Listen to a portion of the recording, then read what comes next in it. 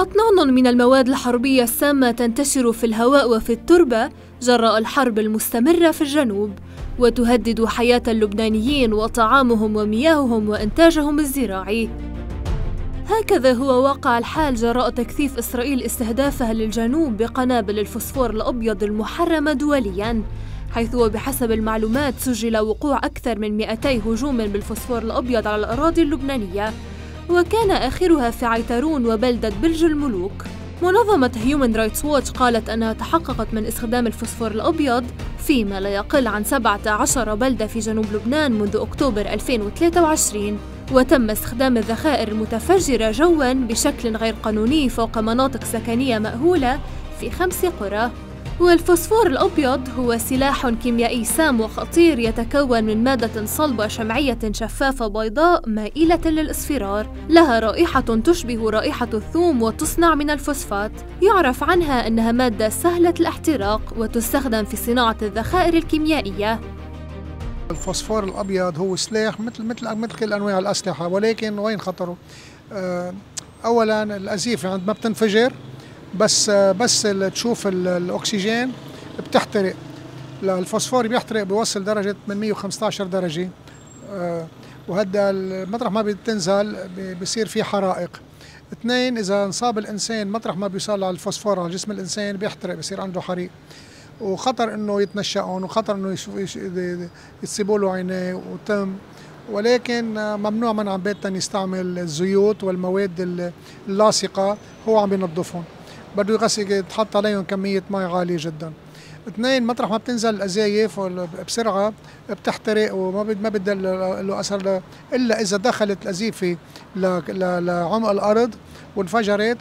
إذا ما وصل أكسجين للفوسفور بضل موجود لفترة طويلة. وزير الزراعة عباس الحاج حسن كان قد أفاد سابقا بأن إسرائيل قضت على قطاع كامل وأن استخدام إسرائيل للفوسفور الأبيض ألحق أضرارا بالغة بالقطاع الزراعي. هلا نحن عندنا الشريط الحدودي بيقولوا تقدر بحوالي 1500 هكتار آه، مجموع الأضرار آه، الأراضي يلي هي آه، تقريبا متضررة 100% زراعيا. من عدة نواحي، نواحي إنه في القنابل الفوسفورية اللي هي عم تجي حارة عم تقضي على كل شيء أخضر وتعمله يابس من شان الأشجار المثمرة كلها وخاصة أشجار الزيتون كلها احترقت. ثلاثة بتعرف في أوقات من في أوقات العدو الإسرائيلي صار يكب محروقات بالمنجنيق. يستعمل المنجنيق بس يكب بنزين ومازوت ويحرق الطرف الثاني الشيء الثاني إنه كمان المزارع ما عاد يقدر يروح يخدم حقوله كما يجب هونيك بهاي المناطق الزراعية. الجدير ذكره بأن الفوسفور الأبيض إذا لمسه إنسان يحرق جسمه ولا يبقي منه إلا العظام ويؤذي الجهاز التنفسي ومن الممكن أن يسبب جروحا عميقة وشديدة وقد يؤدي إلى تلف الكلى والكبد. واليوم فإن القصف الإسرائيلي بالقذائف الفوسفورية على بلدة برج الملوك أدى إلى إصابة مواطن بحال اختناق استدعت إدخاله إلى المستشفى.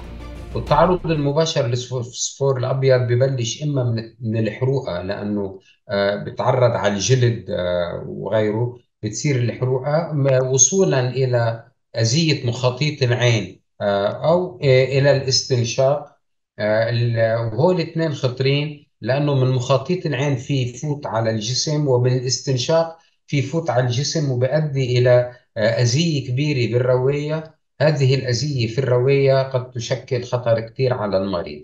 كمان هنالك خطر آخر وهو أنه يمكن نحن نستهلك شيء بالفم أو نحن عم نلم الفوسفور الأبيض أو عم نتعامل مع منتوجات فيها فوسفور أبيض أو عم نبعدها عننا ندخلها بطريقة غير مباشرة للفم. عندئذ مع مع دخوله إلى الفم آه، ممكن يؤدي إلى حروق ب آه، بالمريء وغيره بالجهاز الهضمي. آه، إضافة إلى كمان مثل الرواية ومثل العين آه، بالفم في يوصل على الدم وبس يوصل على الدم آه، بيؤدي إلى أذية في الكلوي بيؤدي إلى فشل كلوي بيؤدي إلى انسمامات ببعض أعضاء الجسم وقد يكون خطره مميت.